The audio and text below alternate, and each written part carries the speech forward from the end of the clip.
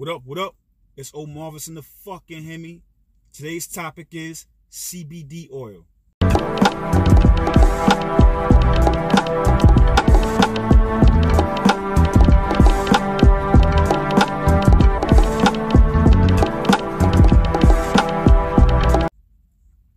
So I'm sure everybody been hearing about CBD oil. This is a quick video just to touch on it real quick. So in weed, I don't know. I, most people like to smoke a little weed. Everybody got their vice. Alcohol, weed, combination of both.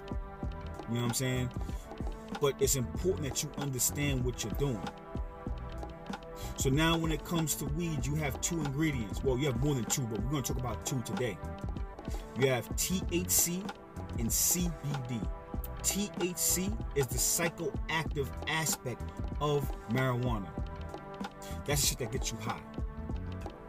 Then you got the CBD. That's where all the medicinal aspects of marijuana come from.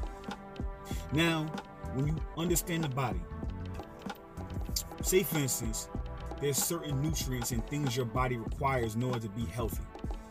If you don't have those nutrients, then next thing you know, you're gonna have an adverse reaction. Something from deficiency.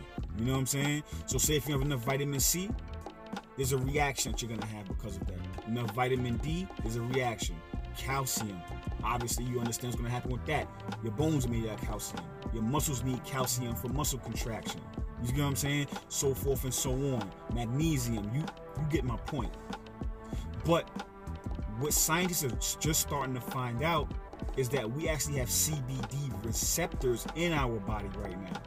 So when you start looking historically speaking, they would feed livestock, chicken, shit like that. They would feed it with hemp. So we would get CBD through the food and the meat that we would consume. Back in the day, they switched from hemp and they started feeding chickens and livestock corn and shit now, subsidized corn.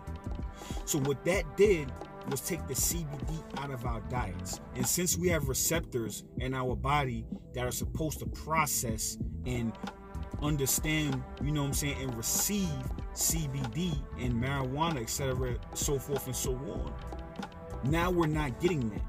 So a lot of these ailments that people are saying that CBD oil is healing, it's not it's not necessarily healing those ailments those ailments are just a reaction to not having CBD in your system.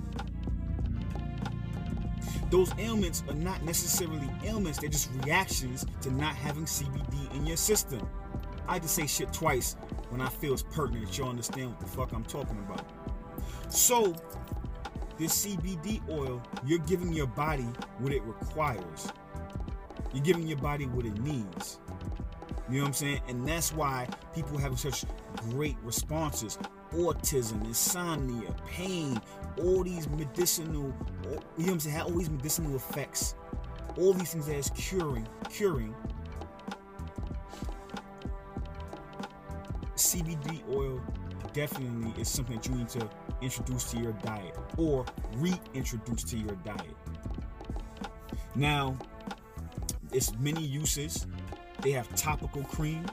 You know what I'm saying? You can ingest it orally. You know what I'm saying? You can inhale it or you can smoke it with weed. you can smoke it and get it in weed. You can find yourself something that's a little has high content of CBD. I would do your research and find out because you have the THC, you have the CBD, as content in it, and I will go do your research and find a strain if you want to get the full benefit of it. You get the high, and you also get the medicinal effects of it as well. So I will Google that, look into that, and go from there. You know what I'm saying? Um, on that note, I ain't gonna hold you too long. I just want to touch on this topic really quick.